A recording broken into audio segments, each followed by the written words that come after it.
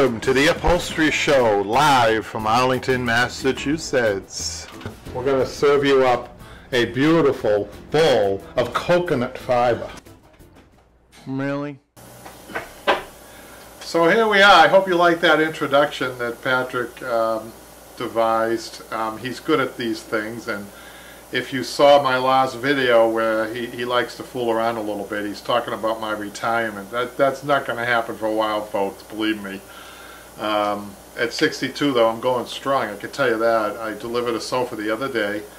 Um, I think you might have seen it. Where's that posted, the world's biggest sofa, Patrick? That, we made a video about it. We did a video about it? Yeah. World's biggest sofa is 114 inches long. and I delivered it the other day. The customer, who's a big burly guy himself uh, helped me up with it. Let me tell you, that was a 400 pound sofa too. I never talked about the weight of that thing. But now I could talk about it. Um, the customer, the customer's looking. Don't worry, it got it got to you in one piece, didn't it? Right? But I have a transit, and uh, I delivered. I, I I put the, the sofa in, and about 40 inches were hanging out the back. Even though I had it tied in, the, the sofa was going up. Uh, you know, was, every bump that it hit, the sofa would go up. So I had to have my arm holding the sofa down. Uh, it, it, was unbelievable. I've never had a sofa that big. Uh, what a what a project. But I'm glad it's out of the shop because it took up the whole shop. I wouldn't be sitting here right now. From where I'm sitting to where Michaela is behind the camera, that's how long the sofa was. So it had to come in here and get out fast. Um, so anyhow, we have a lot of business, and I had my triple shot of cappuccino, so I should I should be on on, on the mark you guys have any questions, please feel free at any time. That gets priority as I'm reading through here. And I hope that I have time to show you this, this project here that I have. It's a small project, but it's tied into, um, you know, how to make extra money in the upholstery business. It's, it's a repair job, which can be quite lucrative, and there's a lot of repair work out there, you guys. So you guys should look into that if, you're, if you want. Uh, but this is an example right here. I'll show it to you we just did a, a, YouTube video on this, but hopefully I'll get to that. But anyhow, let's let's get to the business at hand. And Tony, Tony, who's one of our founding members on the Facebook, uh, and we're really thrilled that she communicated again with us. I don't think we've heard from her in a while, have we, Patrick? I think we have, usually every week. Oh, do we? To keep track. She says, and this is going to be up right now, right, Pat? Yeah, I'm just going to adjust it. Patrick's on the ball, isn't he, you guys? This looks easy, doesn't it, the way he does it? But it isn't. I mean, hard getting them all to fit in the screen. The editing that goes be on behind the scenes here, even on the YouTube channel, you know, we, we, we, we do edit, and, and that takes time. And um, But the online classes, they were just finishing up, what, two or three of them, Patrick? Right. We're going to have a lot of content. By the way, I'm just going to say, say it before I say anything else now would be a good time to join to subscribe for yearly subscription, right, Patrick, to the online classes? Yes, we have like five classes. We, we've got the content that's up there now is amazing content, I think. A um, lot of work behind it. Like I said, a lot of editing. We try not to waste too much film, but you guys get the most out of your, out of your money. But I think it's the best uh, bargain in the whole website, really. So check it out. Um, I don't know if Patrick's got coming attractions on that or but I'll tell you that there's at least three classes that are about 10, 10 classes long each, Patrick. I mean, Jimmy's is, you know, that's about the longest one we've ever done. So it's like 30, 30 segments, you know, altogether. So, and plus the ones we already have up there. So yeah. it, that is growing. I think that's going to become a better value as the more, obviously, the more that we post, right, Patrick? Yeah. So, and, uh, so yeah, Michelle's class, I did post about it. It's going to be called the, was it again? It's an antique tufted. tufted uh, it's a diamond tufted. Uh, diamond tufted chair. That was it. And somebody was asking last week about that, and and that's a perfect uh, show for them. They want to. That's an online class for them. Anyhow, let's get these project as well. Tony has an interesting project that she she's got up there. She says while tearing down this very old chair, it does look old. Um, I discovered that the bottom was only supported by jute slats and some broken pieces of wood. So I've got it all to the bare wood. I'm wondering if I should put springs in while I've got it torn down and just put jute slats back in the proper way. What do you guys think? I don't want to change the look of the chair. I assume you have all the, the padding that was in there, including the horsehair. So I'm looking at this. Uh, my, my feeling is that it, if this is really old, it probably didn't have springs, number one. If it had springs at some point, somebody decided, and maybe rightfully so, that it wouldn't support springs because of the age of the piece. So you kind, of, you guys have to use your discretion here when you when you're doing pieces. And really, if this is for a customer, communicate this with the customer. But it might have been a good decision the last time when the upholsterer took the springs out. I don't often say that because I'm a big believer in the coil springs, right? You guys have seen the videos. But this could be an example of um, maybe um, if the chair's that old, it wouldn't support it. I mean, if you want to put a lot of woodwork into it and then put the springs in, that's what I would advise you. And if you're going to be springing this, you'd use number one springs, Tony. You do uh, the jute webbing on the bottom, not at the top like I see it here. And then uh, follow the instructions on the YouTube, right? We got a great tutorial on there on how to tie eight-way tie springs. that's been up I think, Patrick, how many views do we have on that? that that's That was, that was our first video. one of the first videos, but one of the most popular ones. Yeah. Over a hundred thousand. We did that. Yeah. We, we did? Yeah, we made a better quality one. Oh, okay.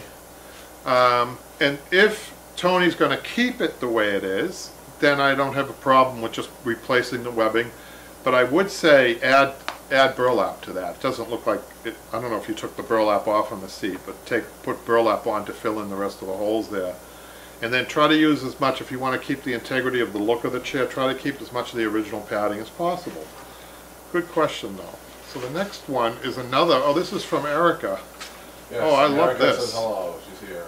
Hi Erica. Um, she says, I just bought this small sofa for my tweener daughter's room makeover. I seem to have a yen for mid-century modern pieces that I have no idea how to upholster. This one won't be, uh, by the way, um, don't be in, don't feel bad. Mid-century furniture in its simplicity is not easy to do.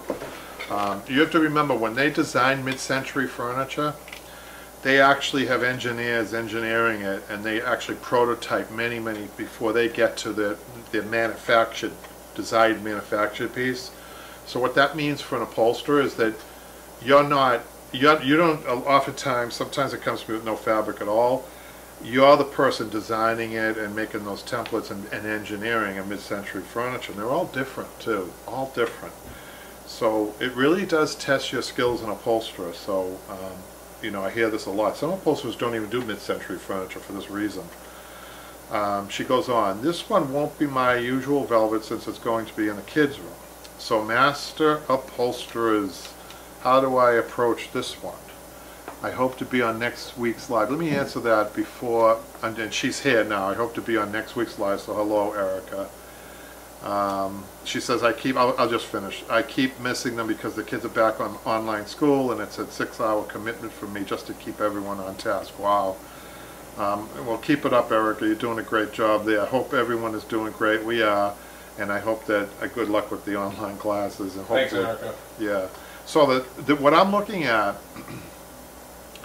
is a piece of furniture that has, if it's been reupholstered, which I have no idea if it has, or if that's the original upholstery, I, I, I would say that they have kept the, the integrity or the lines of this piece very well.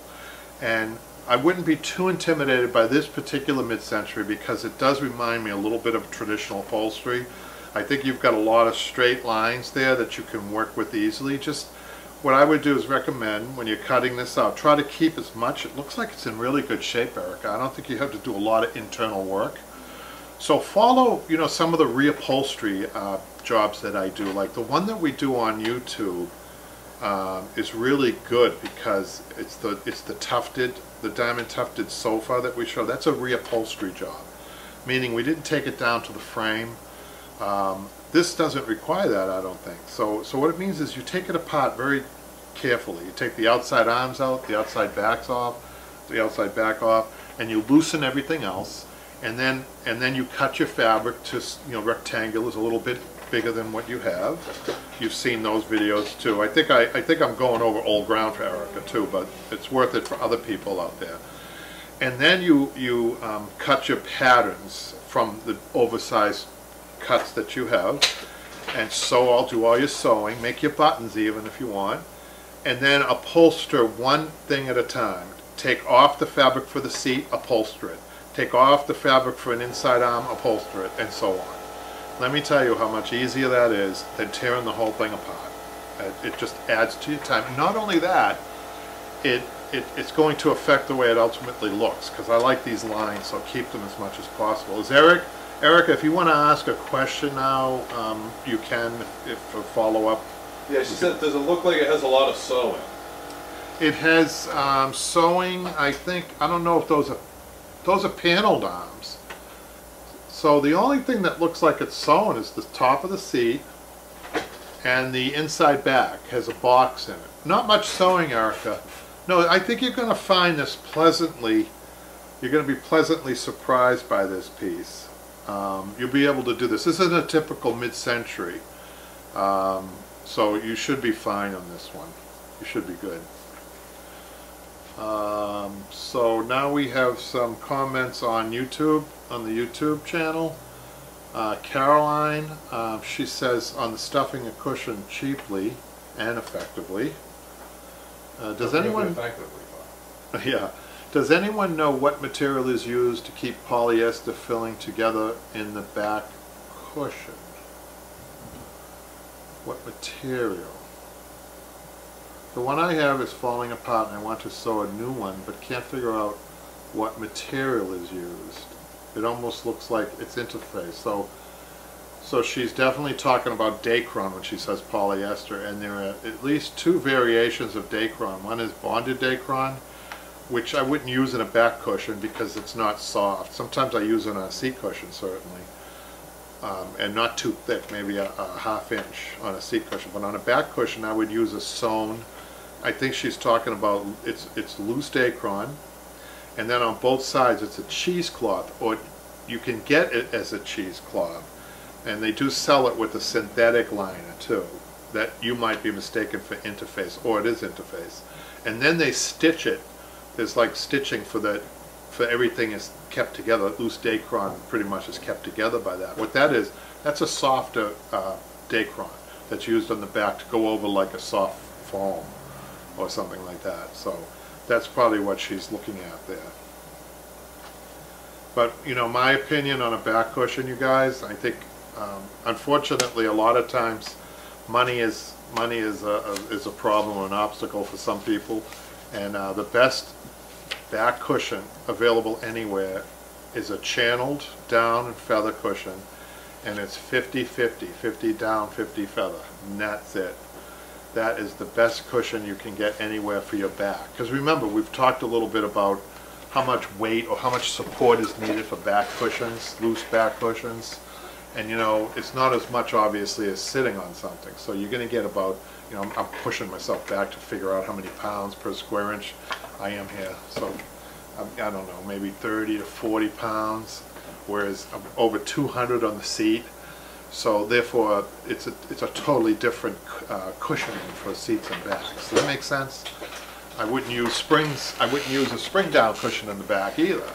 Would use, I would use a spring down cushion on a seat, because that's, that's the ultimate, ultimate seating, you guys. Spring down cushion, spring with the wrap it down and feather on the seat, 50-50, and on the back, all feather and down cushion. That's, that's premium. So then she says, um, uh, the one I have is falling, okay, I already read that, okay. Any live questions, Michaela? Not yet? No comments? Erica just says thank you. Oh, you're welcome, Yeah, Erica. Thank you. I mean, we're thinking about those Zoom classes, aren't we, Patrick? Yes, and Erica's interested, so if we do that, she'll be one of the first.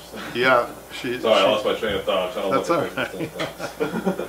Oh, this is one But of yeah, my. she was interested. I talk about that right now. I mean, I put a poll out, and we got a few people that are interested, so maybe we really have to consider that. So I was a little hesitant of this. I, Patrick will tell you that the way I had it envisioned, you guys, and I know that this sounds stupid, right, Patrick? He's I gonna, he's gonna kill me for mentioning this. The way I had it, you know, when you go into Best Buy and they got all the flat screens set up, you walk down the aisle and you can see all the flat screen TVs.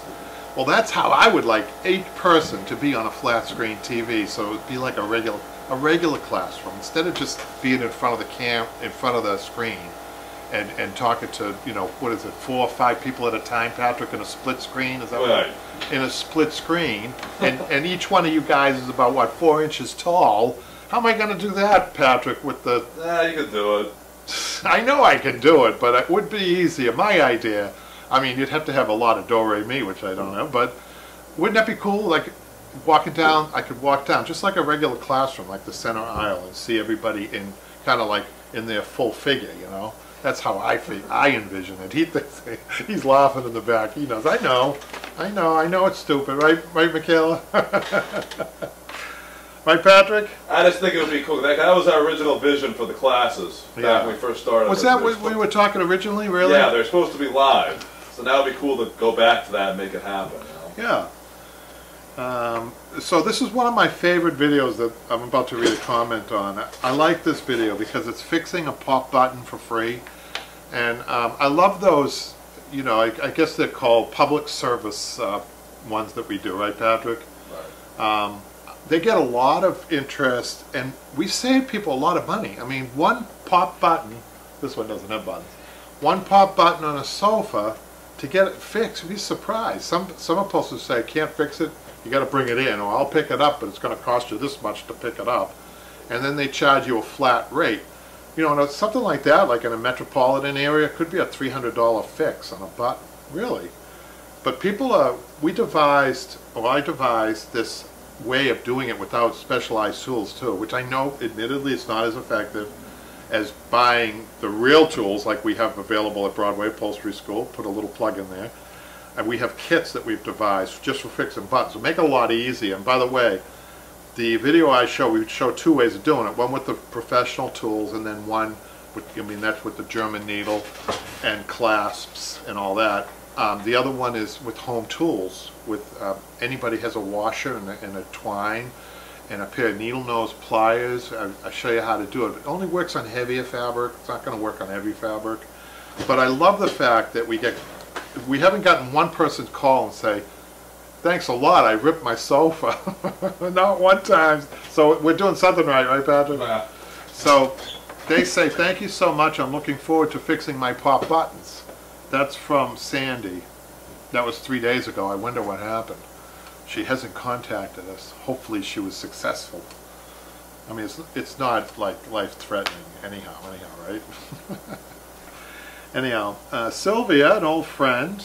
Was Sylvia one of the founding members of the Facebook too, Patrick? Yeah, she was there right from the beginning. I'm Um, not sure about the face, but I think I've seen her. Actually, I'm not sure if this is the same, this isn't the same Sylvia commenting on this one, Patrick. Yes, it is. Is it? Yes.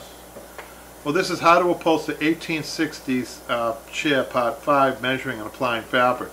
I like the icons that Patrick used, You always say that. I know I video seems to do. come up every week. but some everybody loves cowboys, right? I've never met anybody. It's a cowboy theme that he's got here. I never met anybody that didn't like a cowboy. What's not to like? Or a cowgirl. What's not to like, right? They're out there in the free range, and they're out there on the horse, Patrick, with the right.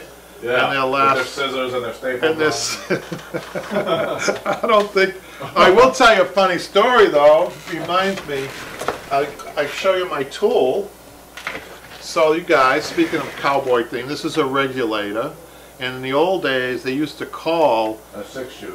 Yeah. no, they used to call call them regulator, I these cowboys that were high hired hands. You know, if a sheriff was having a hard time with some rowdy uh, people or a gang in a, in a western town, they would call in the regulators. Not that. I thought that's what they called the actual gun.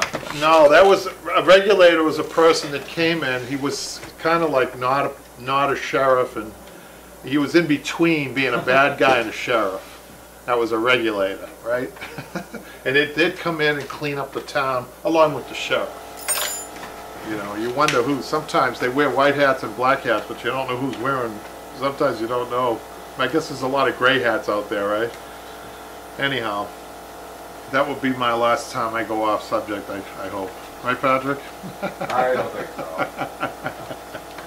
Patrick doesn't think so. So she says, do you use a different size staple for the webbing versus the cambric? Yeah. Sometimes on older pieces like we just saw on, on the first um, that we, we were looking at, that old chair from uh, Tony, sometimes on a chair like that you have to use half-inch staples, the, the biggest staples that we get.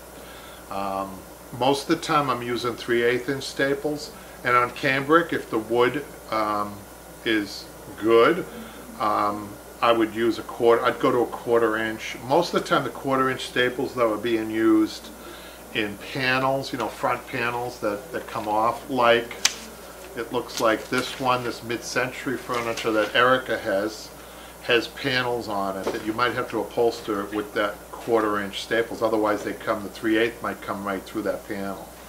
So you have three distinct sizes, and you, we do switch out, you know. So, that's a good question. And that's also from the 1860s chair, Patrick. That's what we were just saying. about. And then we have another one I, um, from, this is from Violet, and this is an easy paneled arm application. I'm not sure, I can't see this. I'm not sure what's so easy about it. it's easy for me maybe, right, you guys? Um, she says, I love your tutorials. I'm redoing some parlor chairs. I hope they turn out and then okay. Yeah, I'm sure they will. See, there's so much, you know, when I was, when I was learning, I didn't have the benefit of YouTube.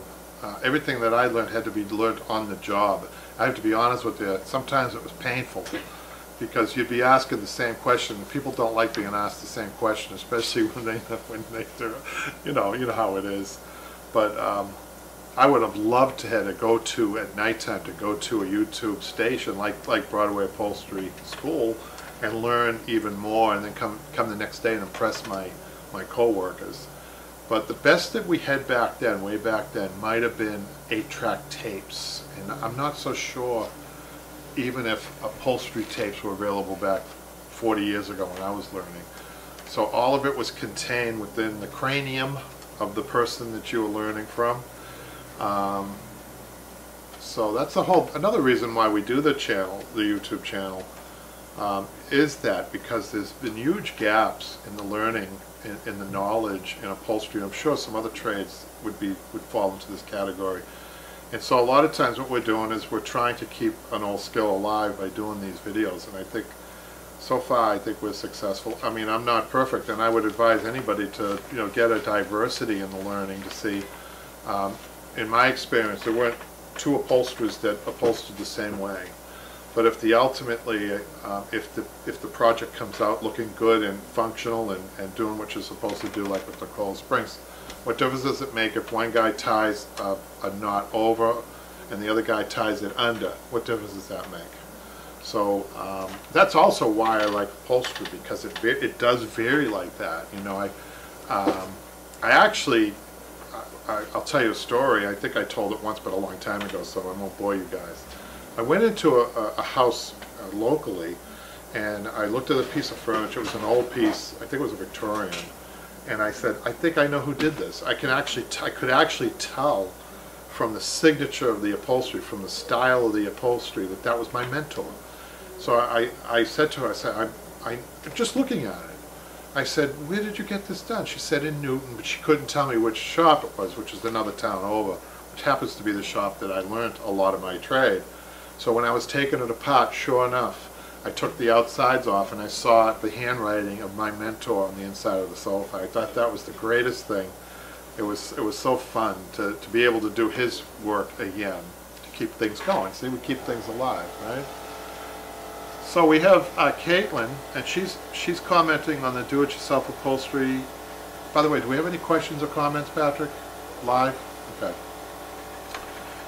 D, uh, do-it-yourself upholstery and sofa part one, stripping fabric. That was the one I was talking about earlier to Erica that she might want to look at.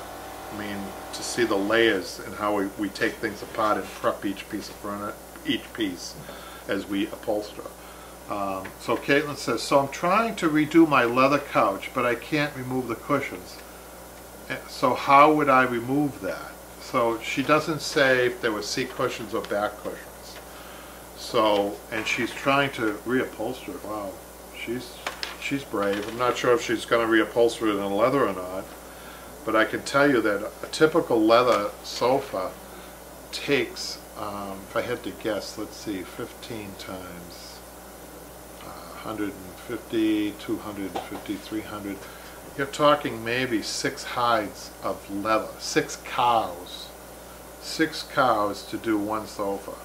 That's that's that's a lot of leather. I have not done a leather sofa in 40 years or so. I remember way back we did it, um, but leather is so costly. The reason is it's so costly. So today, that sofa that I did, uh, that big sofa, the world's biggest sofa, was a faux leather. Could hardly tell the difference. And the thing about faux leather is it's easier to work than leather too. Um, but you have to make sure you get a good faux leather though. There's some faux leathers knockoffs out there that are just not worth the time. So be careful of that. And the same goes with leather. You know, I had somebody call me say they want to get their own leather. And I know they're going to go online and search out leather and it looked great online and most people don't know how many different leathers that are out there, the different qualities of leather. You know, the best leather in the world is a leather that, it's Italian leather. And it's the leather that they, leather's usually four millimeters thick. Okay, that's how thick it is. Um, it's the bottom two millimeters that's the best leather. That's the unblemished leather. Um, you get a good platform to work your dyes in, and that's another thing, dyes. so that's a good leather that's dyed many times and, and hand dyed and really done nicely. That's the Italian leather. It comes out really soft. It almost comes out a really good Italian leather. Comes out feeling like the faux leathers, the good faux leathers today. It's thin and it's really, it's really beautiful. It's polished. The other way, the top two millimeters, the the bad guys get it, right? The, the, the, bad manufacturers. So, and a lot of times those cows are grazing um, with barbed wire or razor wire. So when you get the top two two two uh, millimeters, which are really cheap, and you go online and say, oh, the leather's cheap, I'm going to get it. They'll have cuts and bruises all over that hide because of that. and it's not great, and holes in the hide and everything else in the middle of the hide, and you have to cut around it it's thinned out in places where it shouldn't be. So really be careful with leather. I hope that you learned something new there. Um, so we have uh, stuffing, a, another comment on stuffing a cushion cheaply. Uh, many thanks from Egypt. Wow. From Egypt, Patrick. I don't think we had anybody from Egypt before. That's funny, you were mentioning that last time. Did I? that we might have had somebody from Egypt, but now we actually do. We have Maha from Egypt. So that's the only thing I think about is Egypt is the pyramids. That's I can't I can't get my mind off the pyramids. I do want to say something about pyramids, Patrick, and about what they find inside pyramids, and about how you would be astonished. Coconut fiber. Close. Close. So. Um, what they find when they when they went into it, I'm, I'm not sure if it was King Tut's tomb or whatever it was, but they'd go in and, and they would find on the floor just like dust or remnants of what a piece of furniture was. And, and you know, there'd be gold leafing in there, there'd be wood, they could tell there was, there was wood at the one time or metal pieces and everything. And, and of course it was not disturbed at all. So on the, it would look like, you know, one of those outlines of a CSI, you know, a body. It, there'd be outline of a piece of furniture that was there. And they were able to actually reconstruct that and make, and, you know, reconstruct, you know, a reproduction of what was there. You know, can you believe that? And the other thing I want to mention about that is that, you know, about ba about horsehair, I know this is a little gross, not horsehair, but, you know, mummified bodies, you know, bodies, they, you know, they dig the bodies up and the hair's left, you know, and, and you know, horsehair is like that. Horsehair is so resilient. Um, and that's why we like using it. And it, it and it's body horsehair, and it comes in these little you know, maybe two or three inches long, and they're really, you know, I get excited when I talk about horsehair. I'll tell you why. Because each hair is like a little mini spring. So that makes me smile as an upholsterer. What that means is that those little mini springs are working on upholstered seats like this. They're, they're constantly, and it takes a long time for them to go back down. So they're constantly, these little mini springs, and there are millions of them, right? And uh, millions, maybe 10,000 in a seat like this but they're all working like that as well as the springs that are in this. So you can imagine that's the ultimate seating. It's, it's the ultimate seating. It's going to last a long time, many years. Anyhow, do we have any other comments? No? Many thanks from Egypt. You're welcome. Someday I'd like to visit the pyramids, and if I do, I want to tour King Tut's tomb, if you don't mind. All right, Patrick? Maybe that'll be our first seminar. That'd be awesome. Wouldn't that be cool doing a seminar in front of the in front of the uh, pyramids? Yeah, though I heard that area is very uh, dangerous for tourists. Ah, I'm not worried about it. I have my staple gun. Uh, But people get they get like swindled and stuff like that. They have these carts going around. I heard, and they. Yeah, and I got that big- information. Patrick says I, I, I got that big thing on my forehead, right, Patrick? A big L for losing. Just kidding. I know you are. So we got Daniel. He's commenting on the biggest sofa ever seen, and Patrick's got the sofa in outer space because I said to Patrick, um, there was every once in a while NASA says, and there's an asteroid approaching Earth, and it's the size of a bus, Oh. or it's the size of a mountain. Recently, they said this is funny, you guys. NASA said there was an asteroid coming. It was the size of the needle in London, right? And Needle, isn't that Seattle? no, London. The London Space Needle. Needle. But maybe Seattle has one too, Patrick. Yeah, they both do. They Oh, both really? Do. know London. Yeah. Well, the one in the one in London is a Ferris wheel, right? A big Ferris wheel. We call it a Ferris wheel, right? So when they said that, NASA said there's an asteroid heading to Earth and it's as big as the London Needle. People weren't taking it seriously because they thought they meant like sewing needles. Sorry. I mean, I wouldn't be afraid of a sewing needle being hurtled at, at Earth. I don't think we'd worry about that. But I do worry about something the size of that.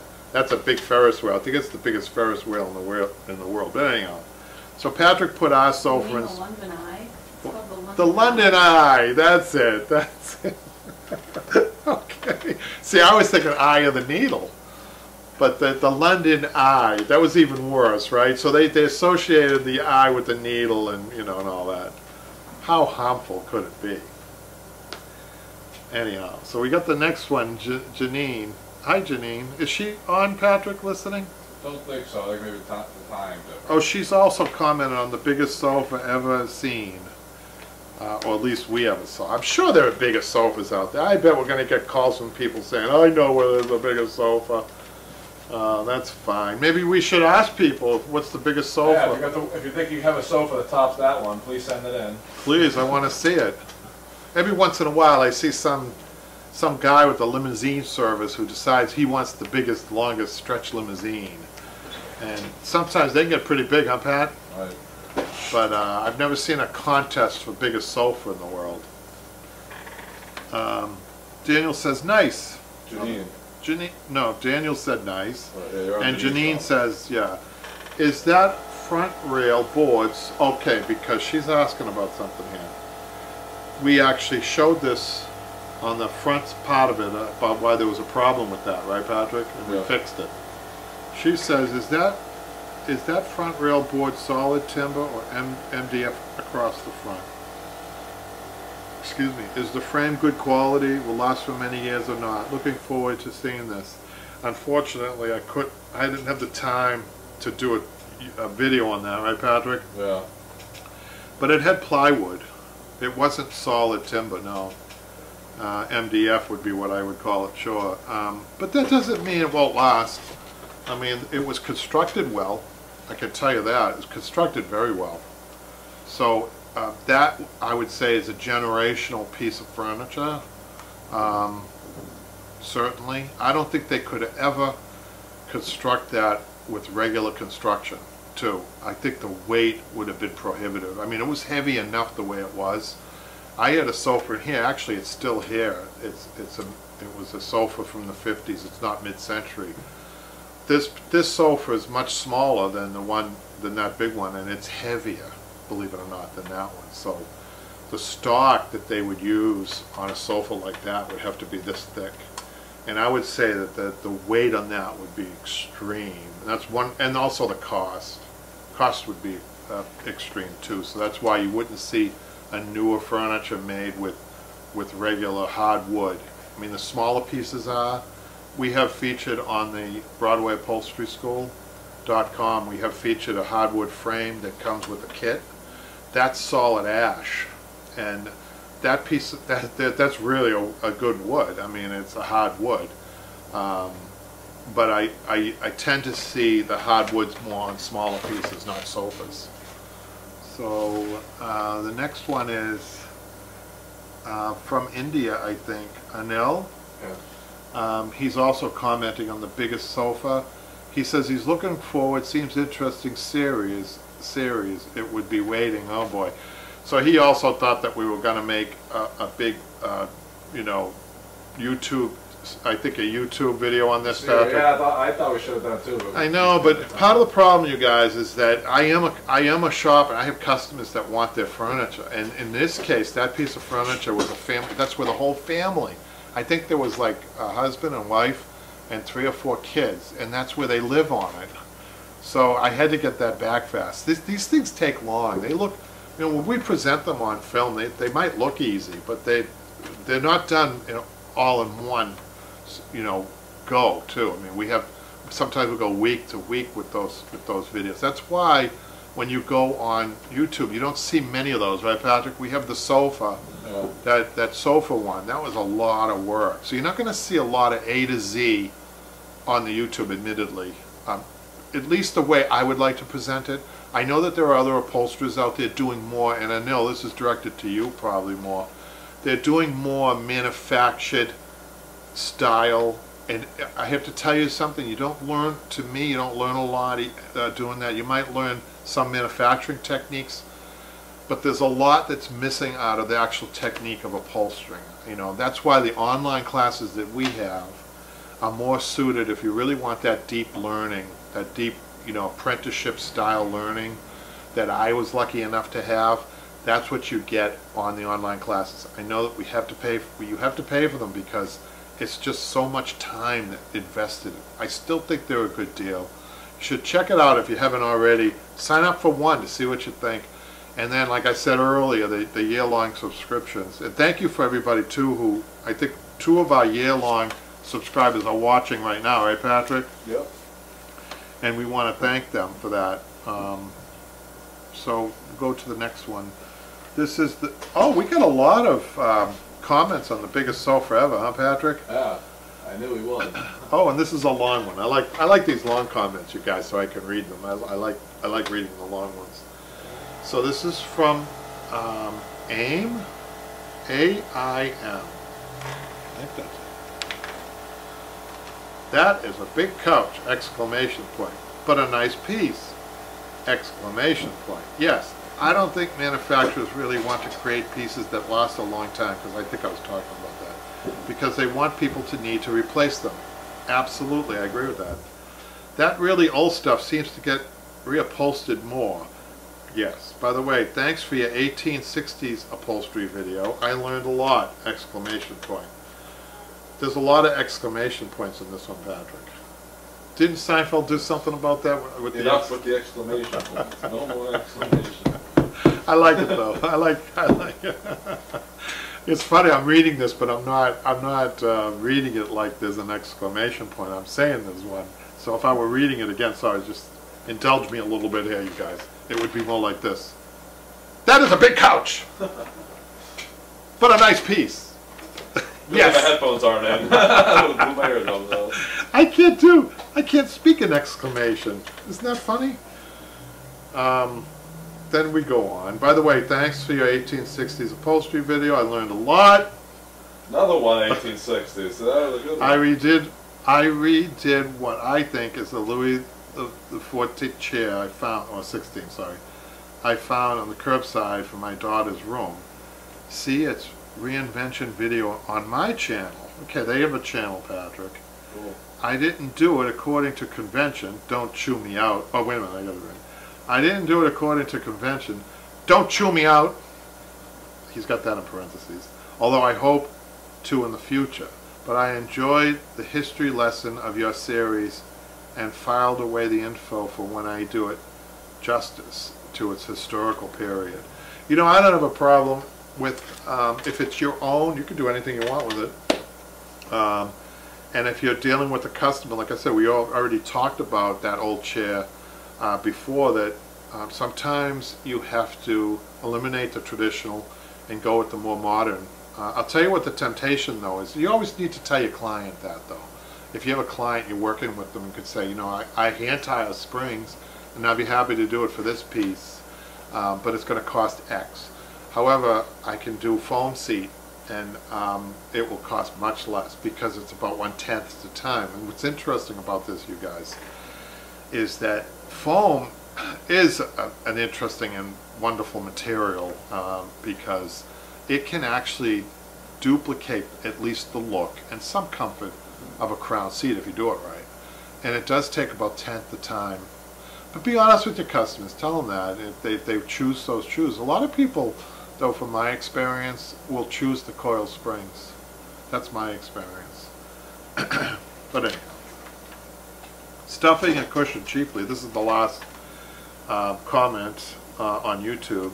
Uh, how about for those cushions without a back? How about those cushions without a back? I guess I don't know what that means. I have no idea what that means. Let's look at this again. How about for those cushions without a back? Hmm. Well, this is from TV.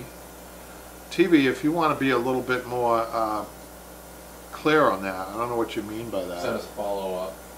Huh? Send us a follow-up. Send us a follow-up and I'll be happy to answer that. So Patrick, how much time do we have left for an Uh, hour? Twenty minutes. left, 20 minutes. So so- you know what? It gives me time to do this chair. And if you have questions, uh, please feel free. Patrick's about to post a video that we did on this. Um, and if the video is about how to take something apart carefully that's only going to be repaired. So you guys might be able to piece together um, the whole process. We didn't have, I didn't really want on that YouTube video show the whole process. I wanted to actually show you how to carefully take fabric apart. That's, that's the whole idea of that. And that's going to be coming out Monday, and that's called Saturday. Saturday. And that- What's that called, Patrick? Um, fixing the coil springs from above, or from the top. Fixing the spring I thought it was above, but you said top. from the top. Right, which is a little different. I was- seen, I wasn't sure the difference was. it is different because the, we've shown how to repair from the bottom. This is a little different that the top needed, which is a little bit harder to do. So So Daniel says nope, he can't think of any of the, any bigger sofas. Daniel is an upholsterer too, isn't he, Patrick? I'm not sure, but he said, I saw a fake big sofa in a theater once. Maybe in a movie he's talking about or something. I think we could have put tires on this and an engine and drove it down the Well, street. someone did that. I saw something like that. Somebody did that? Yeah. People think of the craziest things, don't they?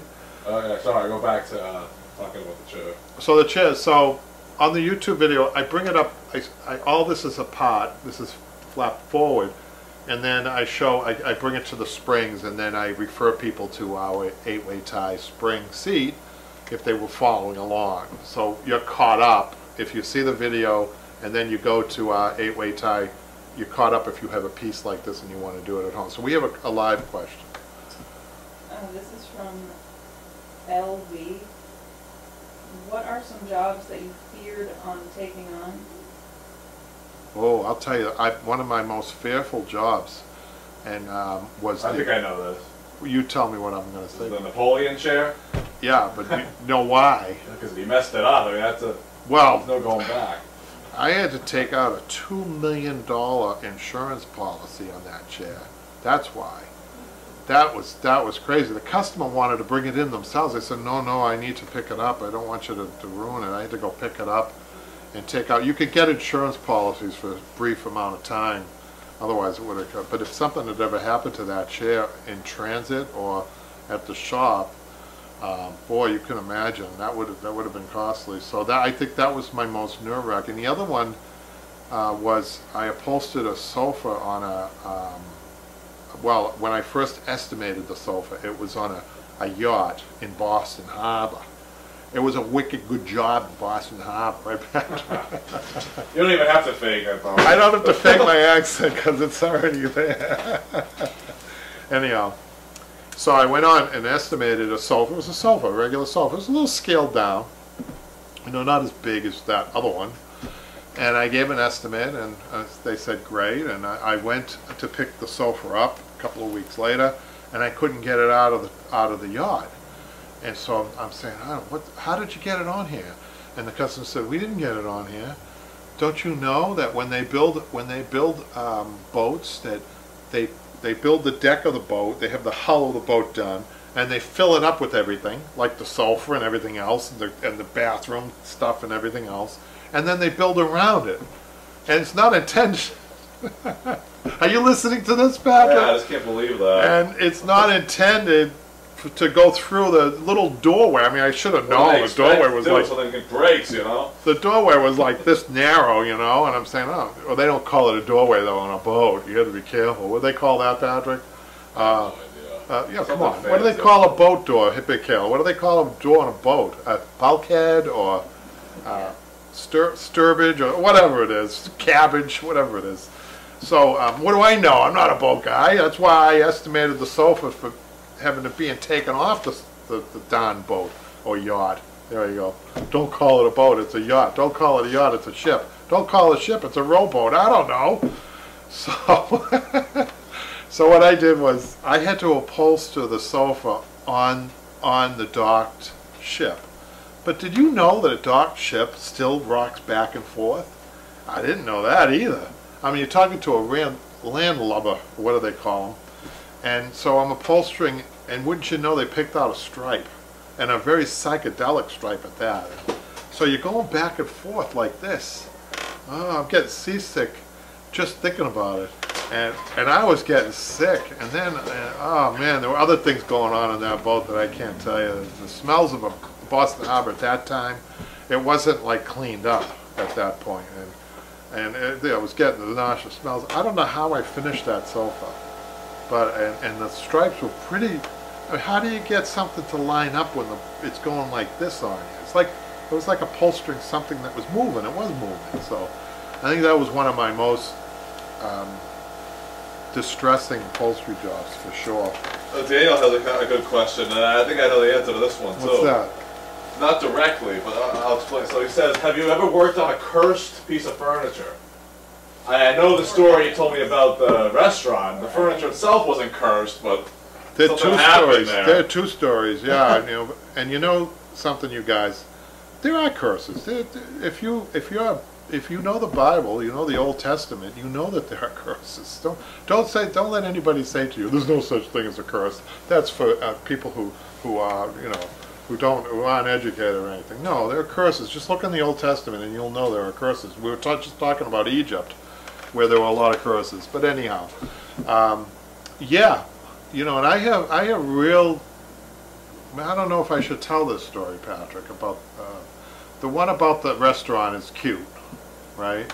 yeah, but the furniture itself wasn't cursed. Uh, he's I- talking about an actual cursed. cursed piece of furniture, and I have to say, I, I, can soften this up for people because it's it's kind of a hard subject, but let, I'm going to soften it up. Yes, I had a piece of furniture.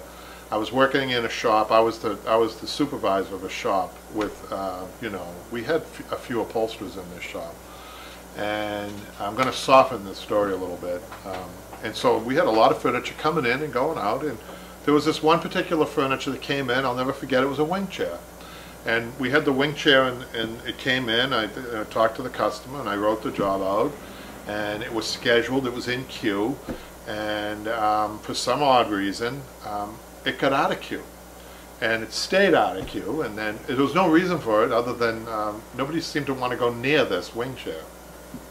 No kidding. And so, um, I, you know, it's kind of, not only that, it was regulated to a corner. It was put in a corner and then put in a back room. And then, you know, the boss came, boss said to me, why, Kevin, why isn't this wing chair, Mrs. So-and-so's been calling? Oh, I don't know. I I said, I don't know. So I, I bring it out, back out onto the floor with the intention of putting it up, and it, it still was, it still went backwards. It didn't go forward. I and everybody else didn't really want anything to do with this wing. So it, it, it went back and back. Finally, the boss said, "Gotta get this done. What's going on here?"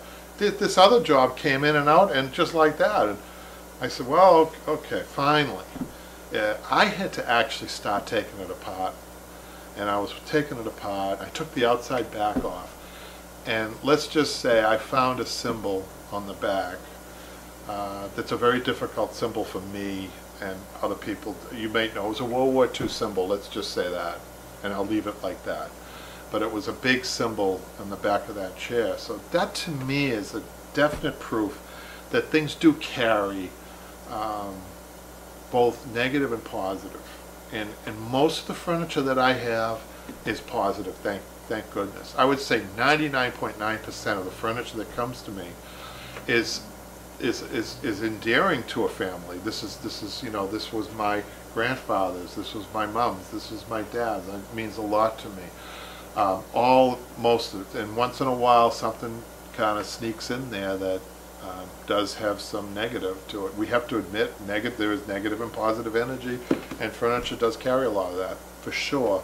Good question, Daniel. I want to ask Daniel if he ever had an experience, or if somebody out there had an experience with, with furniture that, I, I want to hear good stories. I want to hear the good feeling about, the- you know, we, I've had tons of good feeling stories about furniture. That's the main reason why I'm in business, you know. So I'd like to hear your stories too, so, good question. Um, so, I'm gonna start, I'm gonna finish this, hopefully, um, I have time. We have another question. Daniel asks if it was a German chair. He, he knows. Uh, I don't know if it was, but the symbol might have been. I'll say that. I just, I want to be sensitive. I'll, I'll tell you why, why it hits a nerve with me, because a lot of my mentors were from that, from that time frame. My father was in, and my, all my uncles were in World War II. Um, and it wasn't a very pleasant time for anybody, really. Um, so, I, I try to be sensitive, because I know a lot of people are watching that probably, you know, have some sad stories. Is that another question that you have? Oh no, uh, Erica says, I've seen formal china with that emblem on it on eBay. Who would want to eat from that? Well, the Yeah. funny thing I've heard, you know this more than me, better than me, Nick, you know more about history. I heard that emblem wasn't, before it was used for what it was used for, it did have a bad context. Yeah, I as feel like it, it was taken as a matter by of them fact, and, and, It- you know, is that true? Yeah, as a matter of fact, in England, in Ireland, they had a laund, a laundry uh, service with that symbol on it before the war. Um, and even up until the 80s, they were using it. Um, I think they finally had to admit this is a, this could be a hurtful symbol for people. I'll tell you another story. That just kind of sucks, you know, something like that. Same thing with that mustache. Nobody can grow that mustache. Right. right. It's been ruined forever. But there's another story I have. I, I once found, so this, this is interesting, you guys. I once found a letter opener about this big, pure silver letter opener with that symbol on it. I was outraged when I looked at it. This was before this other chair. This was a long time ago.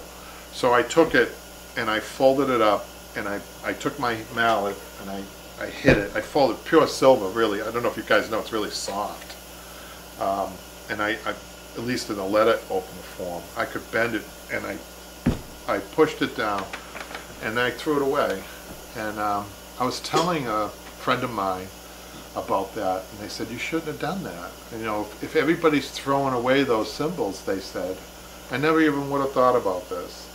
Um, how are we going to remember what had maybe happened to lead to the to those terrible things? So um, I didn't know that. There there are museums that would have wanted that letter opener. Who would have known? I didn't know. I was a young man.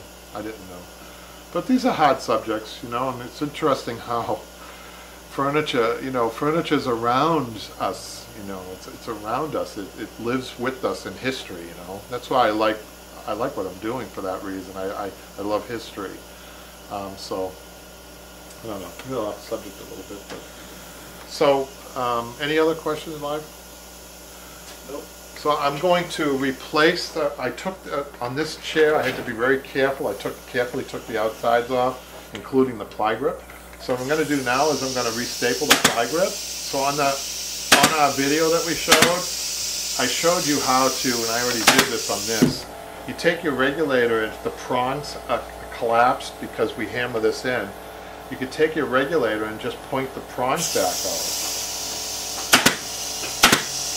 I'm gonna show you what I mean by that. Turn it, I don't know if you can see that, Michaela, can you see the prongs there? See how the prongs are back shooting out? That's to grab the fabric. So, and so up here, when you hammer it, right, the prongs get bent around the fabric. So you can take your regulator and just poke through here to get it back to new. So I can reuse this. Isn't that cool? And then I'm gonna take it and close it about halfway. And then I'm gonna bring it around here, I'm gonna go the other side, I'm gonna trim this up. So it's funny, when I stretch the seat, it, I stretched it that much, so I don't need that, right? That's interesting. You wanna get it, um, so let's do this.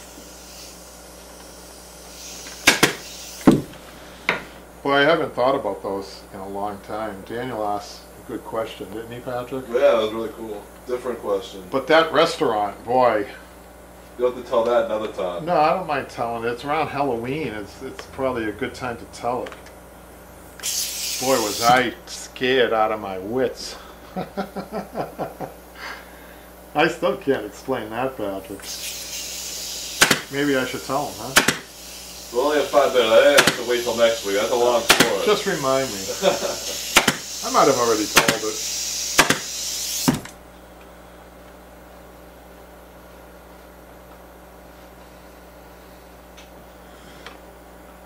So I get my ply grip all ready to go. The other thing I need to do is I need to restaple the back, uh, do now.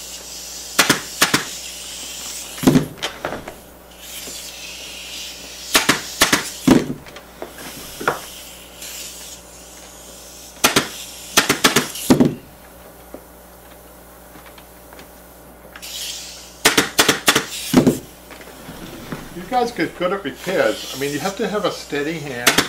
You have to be careful with that. You have to know fibers, which you know you don't want to. You don't want to take a job in and, and then rip rip the seat and then call the customer and say, "I got to do the whole sofa, uh, the chair over because I made a mistake." Okay. Then we're going to take. They have what we call we call this piece the stretcher. So we're going to take that and, and re-staple that because I had it up there. Cool, isn't it, you guys? Quick jobs. Sometimes they're quick jobs. I like these quick jobs. And we're running. I don't want to run over, Patrick, because I know you got something to do.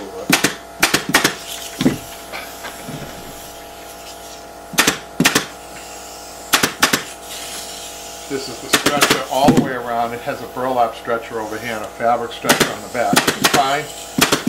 Like using recycling, it's a recycling thing, and then we're gonna flap down the Dacron.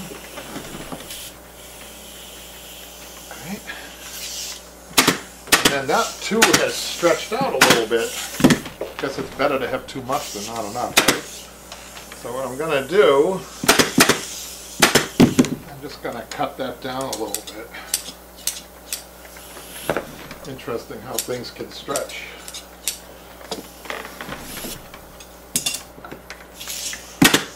And then just stretch that up.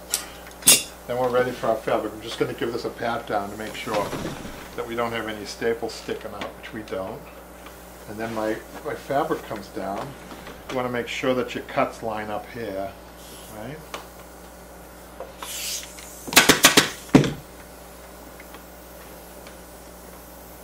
It's always nerve wracking to do something live.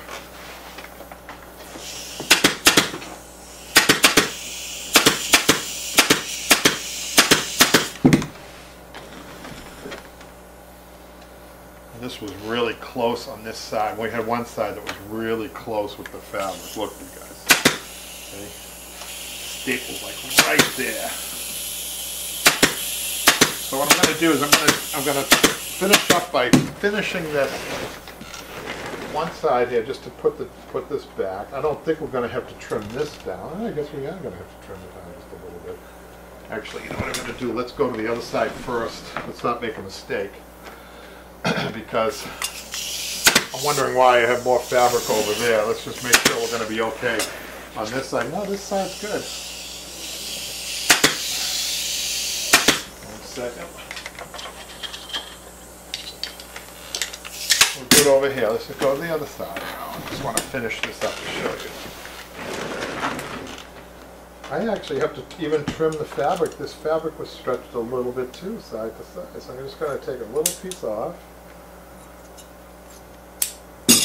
And then I'm going to regulate call in the regulator, right? Right, Patrick? Yeah. And finish, oh, we have fun, don't we, you guys? I like, I like to, I like these question and answer. I hope you guys know that I enjoy these for the most part. I mean, Except when Jimmy's here. Ah. Jimmy's a good He'll be back soon. Yeah, he's a good sport.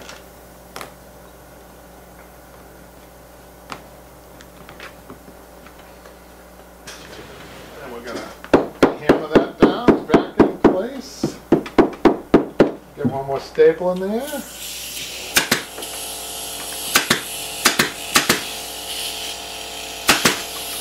And put our base welt on.